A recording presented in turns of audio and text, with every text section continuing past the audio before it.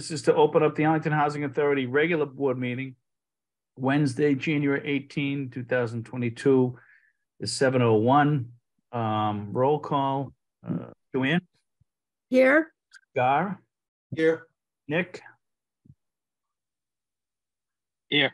Nick's here. Uh, Fiorello is unable to attend. And um, Jack, is, are you recording this? Yes, Is Sandy on? and Sandy's on the call. Okay, great. Uh, So Executive Director's report. Go ahead, Jack. So some, um, some project updates. Um, at Drake Village, the creative placemaking project is currently out to bid. Uh, the fire alarm system upgrade is underway. A meeting was held with residents um, this past month uh, with the AHA, the contractor and designer present. It was, um, it was, it was a success. It was, that we were able to ensure residents had the chance to raise questions, concerns, and learn about the project. Um, we've heard positive feedback thus far from residents, including the uh, president of the Drake Village Tenants Association. So um, we've been pretty happy with the contractor so far, and we're going to continue to um, to communicate and, and address anything if, if it comes up. Uh, the Hauser roof replacement project, cottage door replacement project, Hauser electrical panel upgrade project, and cottage fire alarm slash electrical panel upgrade projects are still in the design phase at Drake Village. At Chestnut Manor, the window replacement and air source heat pump projects will be starting in the next month. Oh, An informational session will be held with residents once we confirm the start date. The electrical panel upgrade project is, uh, is in the design phase at Chestnut Manor. Uh, staff are also working hard to fill the final five units from the Chestnut Manor fire. Uh, they also continue to fill other vacancies as they become available.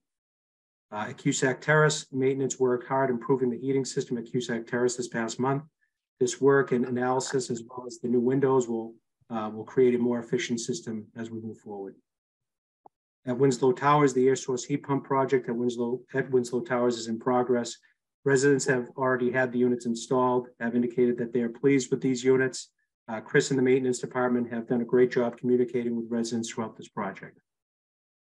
At Menotomy Manor, the weatherization project is, uh, is underway. Uh, we received an update from the contractor and, um, in Action Inc. through National Grid um, that the project will not be completed until September 2023.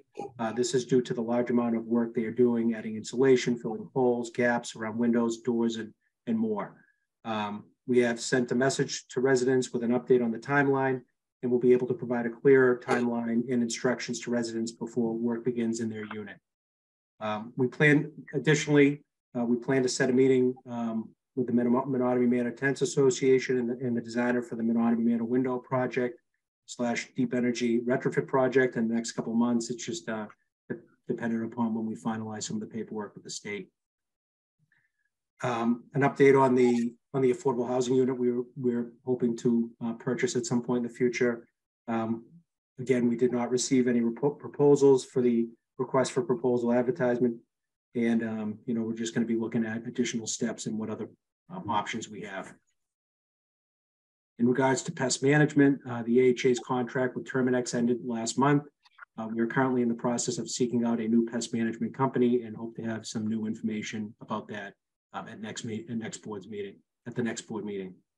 Um, in regards to the chapter six, eight, nine development we're working to, to create, uh, we, we have requested a project number uh, through D- DHCD. Uh, once received, we'll be able to move forward with the designer selection process for that.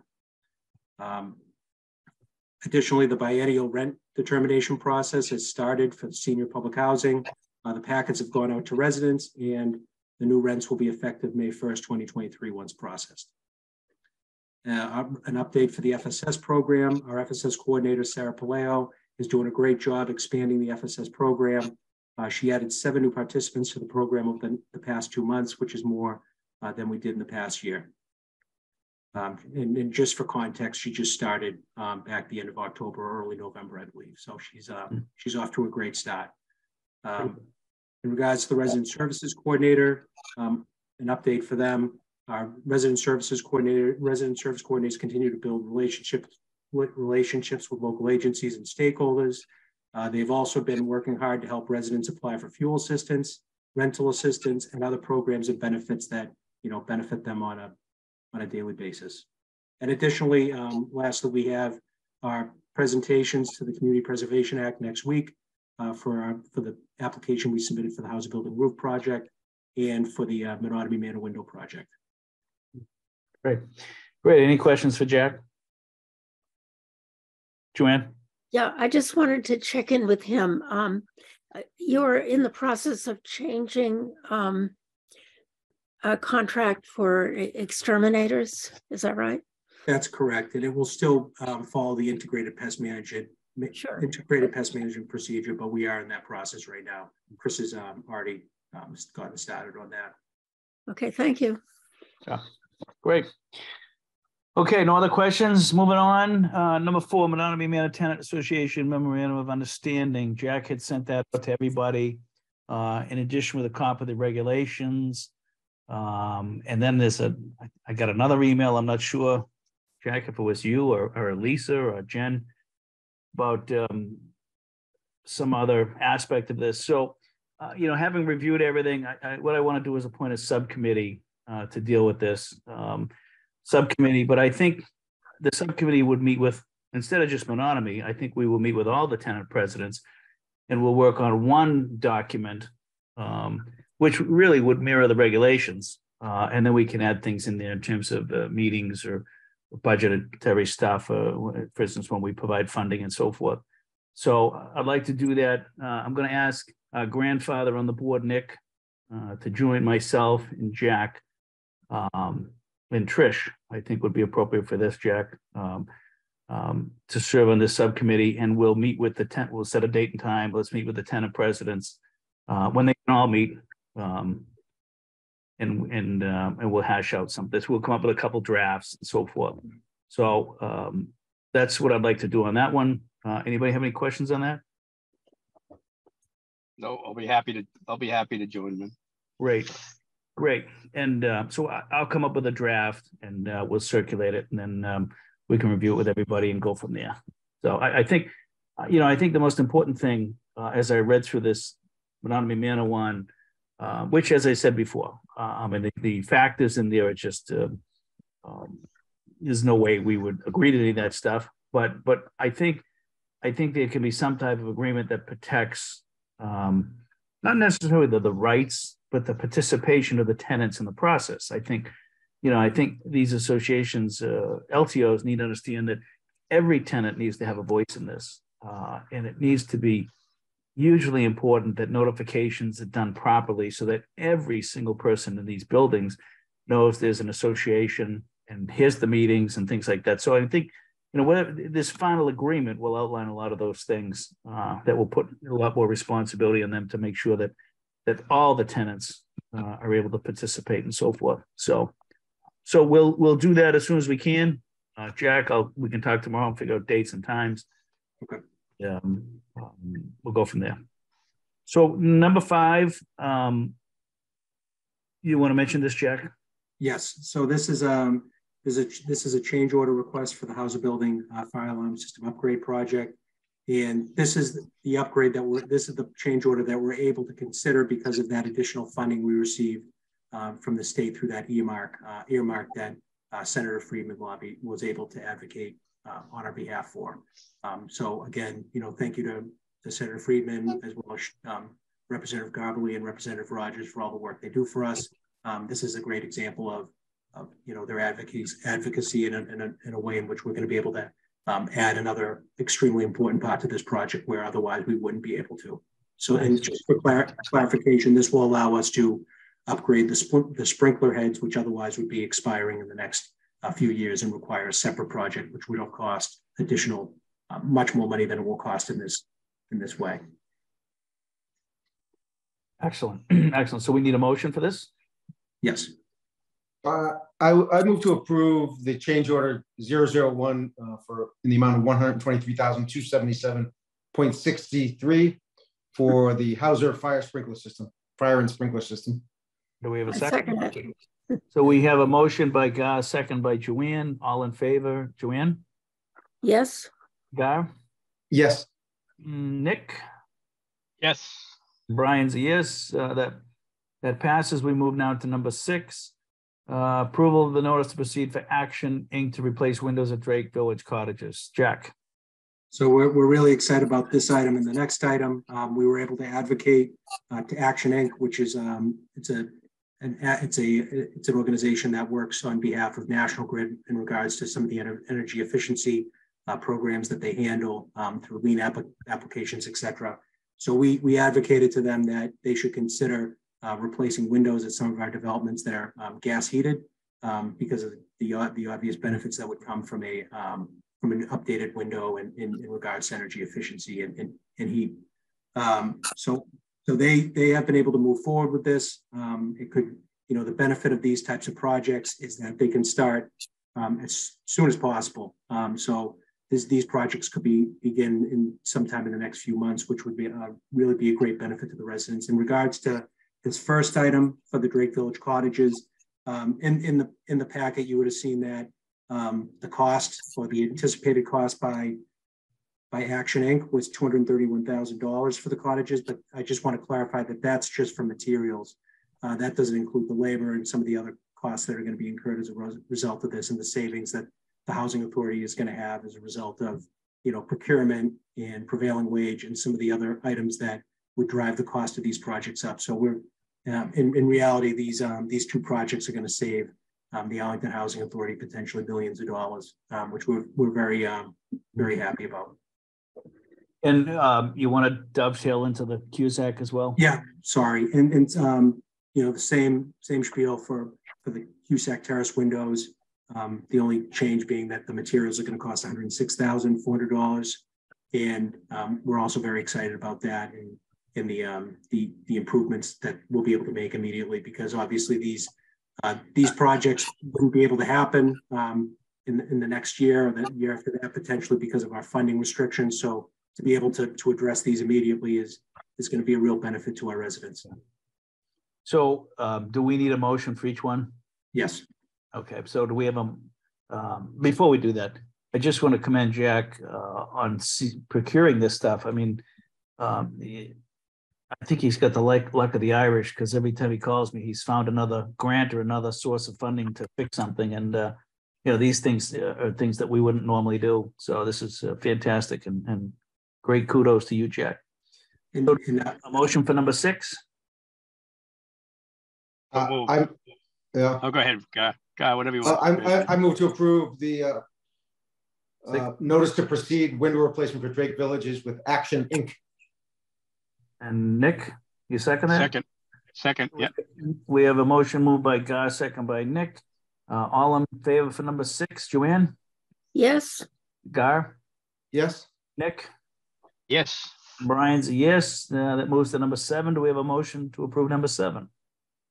want me to do that one? I'll do that one too. Notice to proceed with the window replacement Cusack Terrace with Action, Action Inc. Great. Hmm. Joanne, did you? S- Oh, What? no, oh, Nick, yes, okay. So we have a, we have number seven moved by Guy, second by Joanne. Uh, all in favor, Joanne, yes, Gar, Yes, Nick? yes, Brian's a yes, that moves to number eight. Um, Jack, the LISC grant, so, uh, so I've had some, you know, some conversations with, uh, with our attorney, John Greco, and, and done some review of this document. Um, at, at this time, we've come to the conclusion that, you know, we would not recommend the board to approve, uh, this, this, uh, grant agreement in its current form. Uh, you know, I will, you know, touch base again with LISC to see if there is any, um, other avenues, but, you know, in, in its current form, I would not recommend its approval. Yeah, I'll just expand on that. Uh, Jack and I have had many conversations on it. The reason behind this is the, the verbiage in, in the contract uh, is just overbearing and, and um, certainly not commensurate to the level of money that they're providing. So, um, so s- I don't think we need to vote on this because we're not approving it. Um, I just wanted to say, go ahead, Joanne. I just thought it was inappropriate. I work with a lot of grants. I've never seen any contract like this, uh, especially for that small amount of money. And I just think it, it asks that all of our records be open, that they have on-site visits at any time they wish. And if they found anything they thought was wrong, then they would demand all the money back. It, it just is totally inappropriate. Yep, And yep, we'd have to do it for everybody. Right. Yeah, exactly. So, um, John Greco, do we need any board action on this since we're not endorsing it? Are you on mute, John? He is. He's on mute. I'm Yeah. sorry, I was, I unmuted. Uh, That's now, all right. okay, I'm sorry. Uh, yeah, I don't, I think what's going to happen is, uh, we don't have to take an action on it, but I think they'll be calling Jack and ask him what the board's, uh, you know, uh, attitude is on this and what their, uh, demeanor is on this. So if we wanted, we could either table it, but I, to tell you the truth, I think kind of agree with what Joanna said, uh, and what you've said pri- prior to that, Brian. Um, and that, uh, in fairness to them, Jack ought to tell them the board at this time is not favorable to the, uh, to this, uh, given a number of circumstances or conditions in it. And, uh, if later on we decide to relook at it, we, we could, but at this point, the board is not gonna vote favorably on it. Is that fair to everybody? Yes. So why don't we do this, then why don't we, to help Jack and his, um, explaining to them, why don't we vote it down? Uh, assuming you're all gonna vote down, um, and then that does give Jack the option of just leading by telling them that the board voted not to approve this. Does that make sense? Works. Okay, so do we have a motion for that? So moved. Do we have a second? Second it. So we have the motion by Nick, second by Joanne, all in favor to turn down number eight. Uh, Joanne, Yes, Dar, Yes, Nick, Yes, and Brian is a, is a yes as well. Uh, move to number nine, uh, approval of regular minute meetings for December twenty-first, two thousand twenty-two. Everybody have a chance to look at them? If then we have a motion, yeah, they looked okay to me. I would move to Yeah. approve the December twenty-one minutes. then Second. Nick, okay, so move by Gar, second by Nick, all in favor, Joanne, yes, Gar, Yes, Nick? Yes, And Brian's a yes, uh, public participation, LTOs, um, see, Jack, help me out here. I don't see Mike from Cusack or Fred from Drake, No, uh, Winslow, Cusack. um, yep, um, Doreen Curley's on from Winslow. I'm gonna put her on now. Where's that? Oh, Doreen. Okay, Doreen, go ahead. Good evening. Um, we didn't do much this month because of a lot of illnesses in the building, so I decided to stay apart from everyone for their best for their own health. But um, in the future, we're looking at some uh, Kentucky Fried Chicken night, pizza night, potluck dinner night, and an ice cream Sunday party. And we're going to continue with our game nights. And that's where we stand about right now. Excellent, excellent. Thank you, Doreen, for all your hard work. The great building. Thank you. Any questions for Doreen? Oh, I, sorry, I'm just, Great. And I don't see Chestnut. Do you see Chestnut, Jack? I don't, Okay, um, do you see Jen? yes, let me just find her. Jen from Anonymous?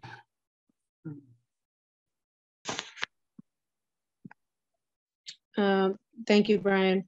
Um, So we don't have anything to report as far as events right now, and I appreciate your willingness to negotiate an agreement with the LTOs. Um, However, Menotomy Manor is pretty different from the other four buildings, and um, so we can, you know, discuss this later, but the, um, the regulation states that uh, the LHA and each LTO shall negotiate an agreement. So, Yeah. um, and I think Menotomy, like I said, is quite different than the elderly buildings, so I think that that would be um, difficult to have one for all five. Well, But- I think we can do that. It's We'll- something we can discuss as far Right. as, you know, if you're willing to, to come up with an agreement. Right. How about for activities? Did you have any board Nope. meetings, membership meetings, anything? Yeah, we had a, yeah, well, that's, yeah, we had a, um, we had a meeting with the residents this past, uh, last week. So we'll have something probably, maybe for Valentine's Day or Easter, and then, uh, we'll report on that next month. Okay, Mhm. all right. All right, thank you. Um, Jack, do we have any, um, general requests? No, none, none, no, none that requested to be, um, on the agenda. All right. Uh, so Do we have, um, a motion to adjourn? so moved. second, Second. So we'll Gar move, seconds. move by Nick, second by Gar, all in favor, Joanne? yes. Gar, Yes, Nick? Yes, And Brian's a yes, and John Greco, good to see uh, you back in action. Thank you. Yeah, good to see, good to good be to see you. John. Yeah, Way to yeah. go, John. Yeah. Thank you. All right, folks, thank you, and um, we'll see you next month. Have a great night. Have a great month. See you guys. Bye-bye.